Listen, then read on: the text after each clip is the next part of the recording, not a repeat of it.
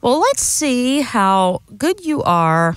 Well, not at something magical, but how good your ears are, Dolph. I want to play a little bit of a game. I'm going to play a sound, and I want to see if you and our listeners recognize it. Here it is. What do you think that is?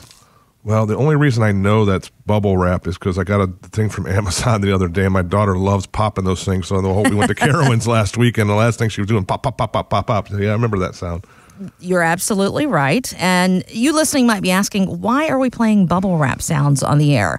First of all, because seriously, I find it oddly comforting, and I love to do it myself, even just like your daughter, Dolph. But second, because we use bubble wrap to protect things that are quite fragile.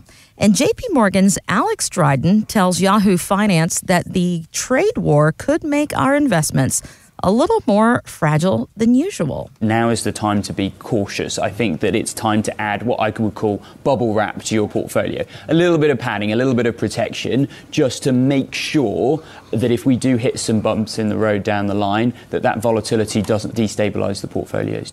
Is he being a little silly here, or do you agree that it is time for us to be serious and be more cautious? Oh, I mean, it's once again, it's going about expect the unexpected. I mean, in life, you play sports, Kristen. Maybe you did, maybe you didn't. Or folks out there, do you like losing? Never, never, never.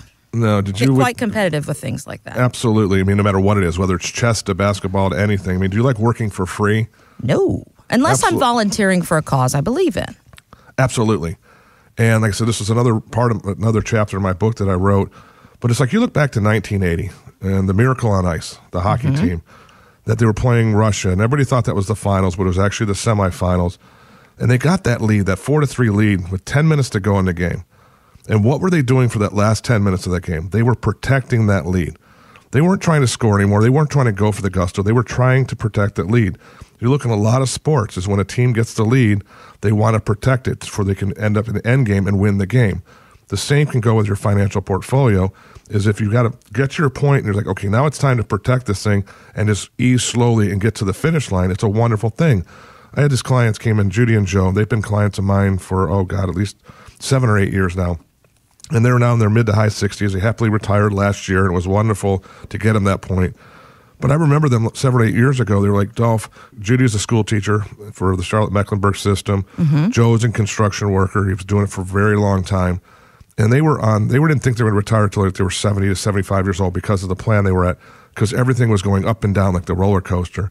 And we analyzed this. That's where I came up with the hockey because Joe is a huge hockey fan, and we I have some hockey memorabilia. I have a Roger, actually a Jim Craig puck in my office, and that's where we were talking about. It's time to protect and know what we're going to have versus guessing what we're going to have. Okay. And so the whole process with Joe and Judy, we're still working through the whole year, and they retired six and a half years above schedule. Good for them. And it's just a wonderful feeling. Someone retiring, and they're thinking 60, 71, 72, and they're retiring at 65, 66, mind you, comfortably still getting to see their grandchildren who live up in Chicago, still going to go get down, they have timeshare down in Florida and live their life. It's just a wonderful thing every time I see people because remember, it's what you keep that counts. And like the bubble wrap theory, if you can wrap what you've already earned, guess what? It's not going to leak out and you're not going to lose it. On the Income Strategy Show with Dolph Janis on News 1110 and 99.3 WBT.